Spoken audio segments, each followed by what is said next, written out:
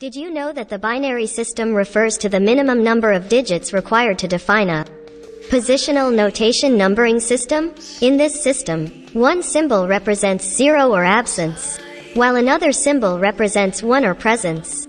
Although there are ancient Chinese and Hindu documents discussing binary notation systems, it was in the 17th century that the foundations of the current system were laid using the symbols 0 and 1. Later, George Boole determined the set of rules and operations that define any binary system, giving rise to a branch of mathematics bearing his name, Boolean algebra. Building upon this, in 1937, American Claude Elwood Shannon developed the first binary code, which became the language of computers.